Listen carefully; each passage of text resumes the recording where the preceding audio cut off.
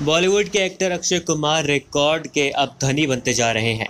जिस प्रकार से वो हर फ़िल्म में पैसा कमाते हैं, उसी तरह से अब रिकॉर्ड भी अक्षय कुमार के इस तरीके से कदम छू रहे हैं कि हर रिकॉर्ड मानो उन्हीं के लिए बना हो।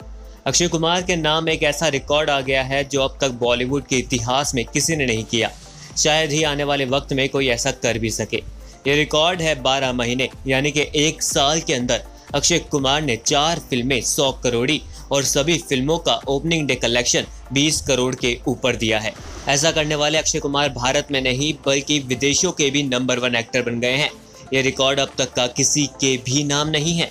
जी हाँ दोस्तों, अक्षय कुमार ने 15 अगस्त 2018 को गोल्ड से लेकर 15 अगस्त 2019 मिशन मंगल तक चार फ़िल्मों में शानदार कमाई की। 15 अगस्त 2018 को गोल्ड ने लाइफ टाइम एक करोड़ का कलेक्शन किया।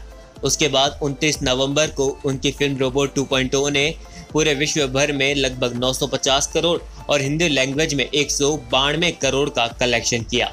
उसके बाद अक्षय कुमार की मार्च के महीने में इक्कीस तारीख को रिलीज़ हुई केसरी ने भी 155 करोड़ का कलेक्शन भारत में किया, जबकि वर्ल्ड वाइड उसे भी दो सौ छिहत्तर करोड़ अब तक मिल चुके हैं। अब बात करें अब 15 अगस्त को रिलीज़ हुई मिशन मंगल भी पाँच ही दिन के अंदर 100 करोड़ क्लब में शामिल हो गई। अब यह फ़िल्म 200 करोड़ के और बढ़ रही है। दोस्तों, आपको बता दें 12 महीने में 400 करोड़ी और सभी के 20 करोड़ से ऊपर opening day collection Akshay Kumar ने दिए।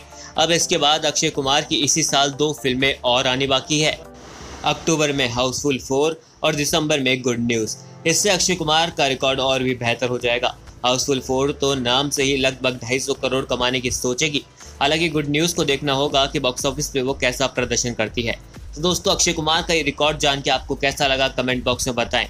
वीडियो पर एम करते हैं हज़ार लाइक के लिए। सब्सक्राइब करें। देखो देखो ताकि आने वाली अपडेट आप तक पहुँचे सबसे पहले।